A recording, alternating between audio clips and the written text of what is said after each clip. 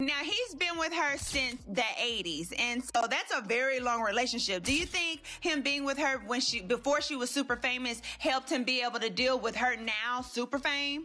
Absolutely. Listen, Stedman is Oprah's ride or die. He's been there since the beginning and you know what? You know you know he was with her when she was broke and had no money. So it's like you know his heart and his motives were in the right place, you know what I'm saying? Gary, do you know any mm. tea about the marriage like because because they've been together like forever partners. Have they ever talked about being married? Has Oprah or him ever said anything about yeah. being married? They were talking about getting married at one time. That's when Oprah lost all that weight, honey, when she dragged that wagon on the show with all that fat in it, honey. But then oh. I guess Stedman oh. changed his mind. Oh, she was gonna get married to him, but honey, no, they ain't uh, married. But you ah. know, still in the house though.